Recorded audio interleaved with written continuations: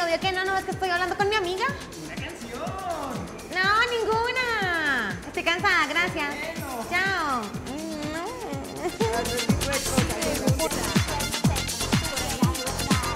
Oye, Isa, ¿quieres bailar? ¿En serio? De una.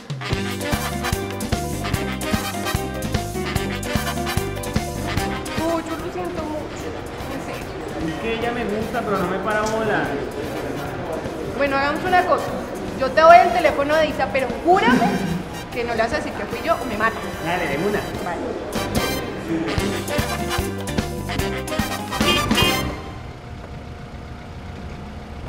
¿Cómo estás? Bien, ¿y tú? Bien, ahí vamos. Muy bien, ¿qué hacemos? Mm, Vamos al centro comercial, nos comemos un heladito. Me parece deli, pero espérate, revisa mi teléfono que hace rato no lo miro. Vale, Isa. ¿38 llamadas perdidas? Pero qué intensidad. No, no, pues me gané la lotería o algo muy grave está pasando. ¿Aló? ¿Aló? Hola, muñeca. ¿Con quién? Con la persona que te sacó a bailar ayer, el guapetón del corbatín. Ah, sí.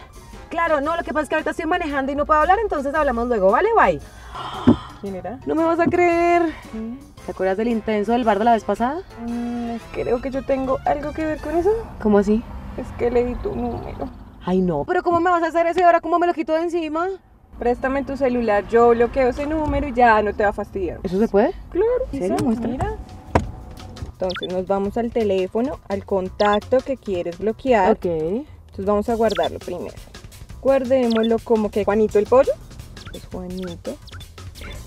De apellido intenso. Intenso. Listo, entonces ahora nos vamos a la parte de abajo y le Ujú. damos bloquear este contacto.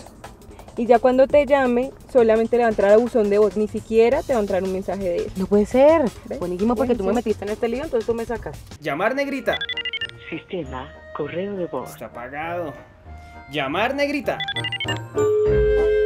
Sistema correo de voz. Pobrecito, pero menos mal me enseñaste a bloquearlo porque ya me tenía harta, pobrecita. Y así es, nos encontramos en este momento con el ganador del premio gordo de la lotería. ¿Cómo se siente?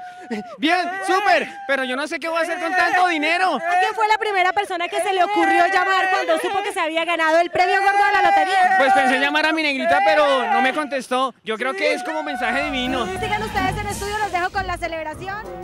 No era tan malo. Si quieres más historias Aldea TIC, ingresa a nuestra página web www.canal13.co. Descarga las aplicaciones Canal 13 y Aldea TIC. También estamos en www.canal13.co y www.mintic.gov.co.